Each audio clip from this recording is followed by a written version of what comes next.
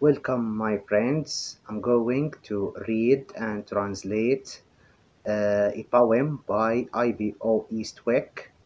Uh, the title of this poem is Thanksgiving. Let's start.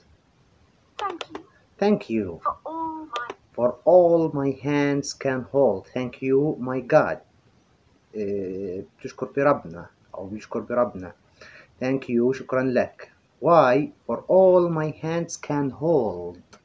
My hands can hold apples red and melons gold, yellow corn, both ripe and sweet, peas and peas so good to eat. يعني تشكر الإله لأنه خلق لها الإيدين اللي بتحمل فيها هذه الأشياء التفاح التفاح الأحمر والبطيخ وما إلى ذلك.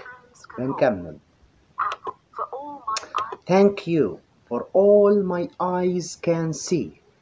Lovely sunlight, field and tree, white clouds, white cloud boats in sea, deep sky, soaring bird and butterfly. كمان مرة بتشكر ربنا بتشكر الإله لأجل إنه خلق لنا العينين المرة الأولى شكرت الإله لأنه خلق لنا.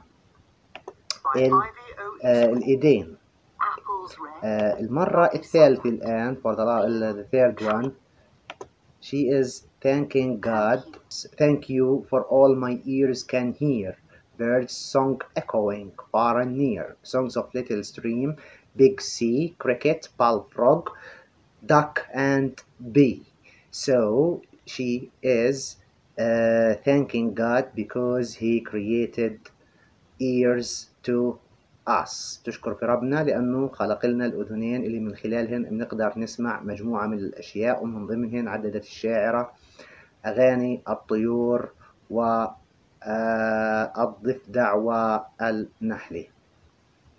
هذا ما لدينا نلتقي إن شاء الله في فيديو آخر.